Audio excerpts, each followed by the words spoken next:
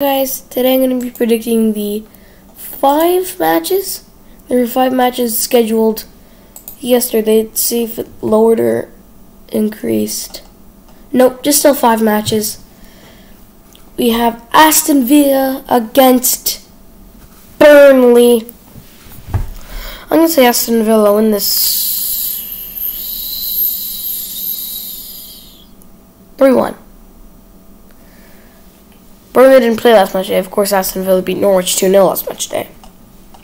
Leeds lost 7 0 to Man City as Arsenal beat West Ham 2 0.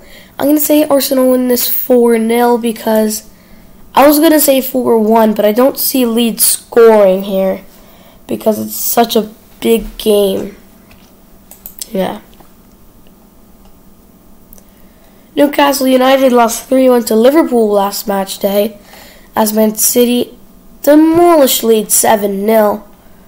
I say Mad City, well, uh, Newcastle, are Newcastle worse than Leeds?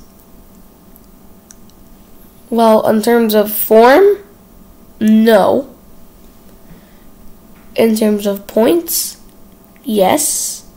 Goals scored, no. Goals against, yes. I'm going to say Man City win 8 0. I have to say it.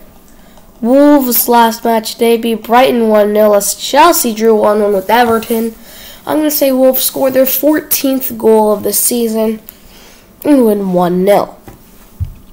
Tottenham Hotspur's last match day. Uh, Liverpool, uh, they didn't play Tottenham, sorry. Liverpool beat Newcastle 3 1. Tottenham have not played since December 5th. That is not good for Spurs. I'm going to say Liverpool win this 4 1. Sorry.